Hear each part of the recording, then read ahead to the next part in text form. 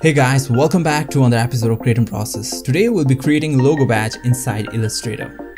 There are plenty of logo badges templates available on the web and if you search for it, you'll find a variety of designs which are easily editable and can be used directly for the business. So our goal here is to create an exclusive logo badge in the fastest and the easiest way. And during the process, I'll be using some vector resources from vexels.com where you can download in several formats.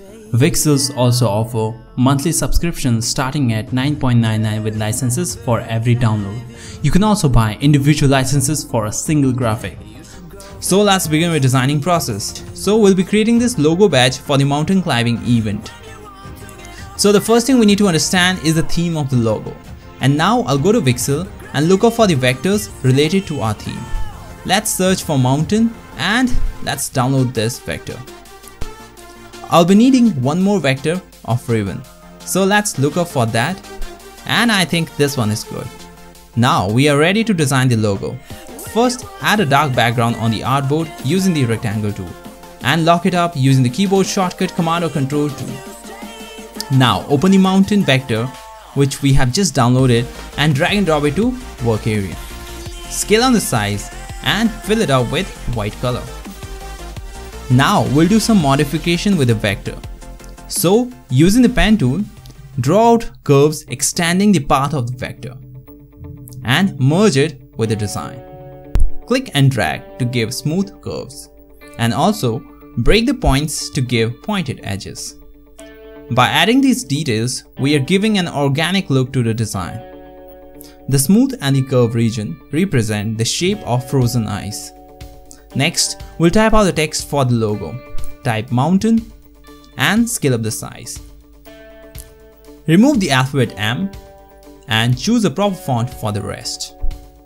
Apply white stroke color with a stroke thickness around 2 points and change the font style to Agency FB. Now create a duplicate of the text and type M alphabet. We'll increase its size and place it somewhere in the middle.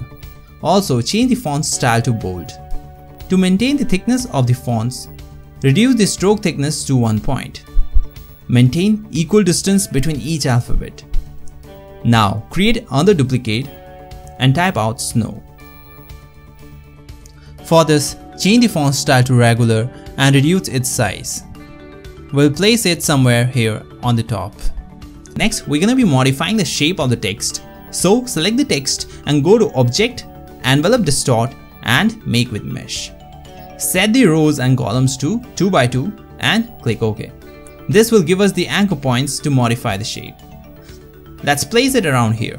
Now, using the direct selection tool, select the right side anchor points and drag it down. Now select the middle anchor points and drag it up.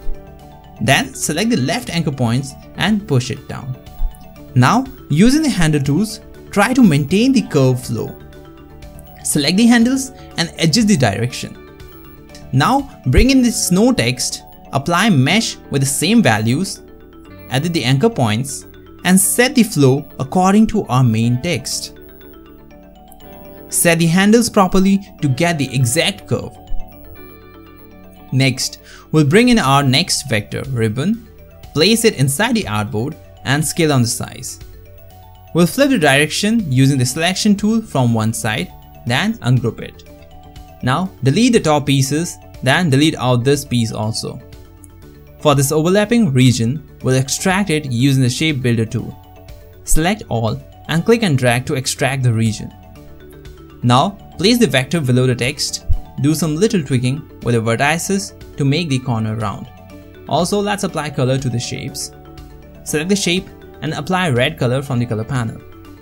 Then select the second one and give little darker shade to it.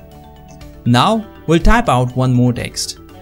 Give it a white font color and we'll give Arial black font style. And under character panel, increase the distance between each alphabets. Then go to object envelope distort and make it mesh.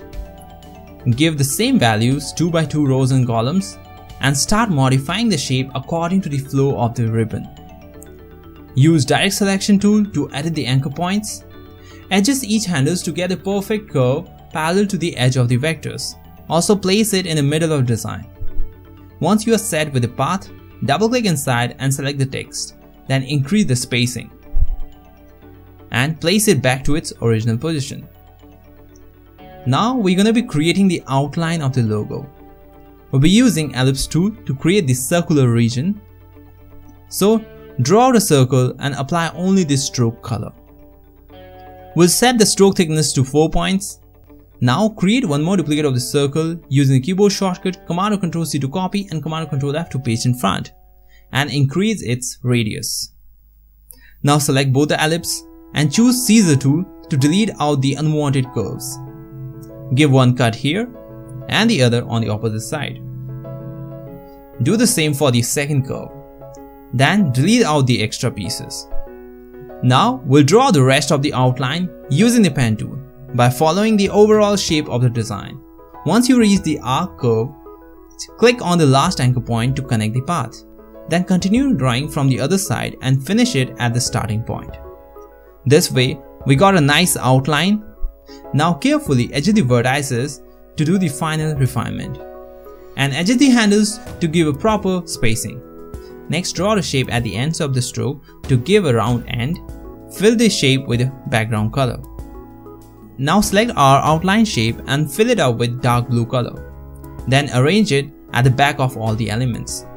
Now selecting the shape, go to Object, Path, Outline Stroke. This will convert it into fill object. Ungroup it and we got two different shapes for background and stroke. Select the other stroke and apply the same option. Apply light blue color to both the strokes. You can use this code to get the color. Give the same color to the snow text also. Now we'll add some details to our mountain vector. So first of all select all the pieces and combine it under Pathfinder. Then using pen tool, start drawing out curve path to create a division. Try to create a wavy curve in order to get a random look. Now select the stroke and the shape and extract out the region using the shape builder tool. Ungroup it to select individually and apply light blue color. And now lastly, we'll create this frozen ice effect for our design. The designing process is very simple. We'll first create out the shape using the pen tool. The shape can be in any form. Try to get that feel in your design. Fill it up with white color and start tweaking the shape using the direct selection tool. Next, create one more duplicate of the shape and fill it up with a background color. Then arrange the back of the shape and drag it down. This shape will be used to give shadow. The placement will decide how much depth you want to give to your design. Then use the direct selection tool, edge the anchor points properly. Now we'll add highlights to our design. Draw a curve like this. Draw another curve for the other shape. Now select the curve and the shape and using the direct selection tool, click here and then here to extract out the region. Select the extracted shape and apply light blue color. And this will add a highlight effect to the frozen ice. We'll be following the same steps and create out the other two vectors with different volume and shape. Finally, we have completed designing a logo badge. To give more details to our design, we can use Photoshop to add more depth, highlights and glossiness. You can also add lens flare effect and it will make your design more stand out. Finally, our logo is ready. The designing process was very simple. By using the ready-made graphic resources, we have saved up lots of our time. I hope you like the techniques and enjoy this tutorial. To check out the various graphic design bundles provided by Vexel, you can just go and check out their website or you can find the link in the description. I hope you enjoyed the tutorial, don't forget to check out the next tutorial coming up and if you want more updates on designing, don't forget to like, share and subscribe this channel. Thank you.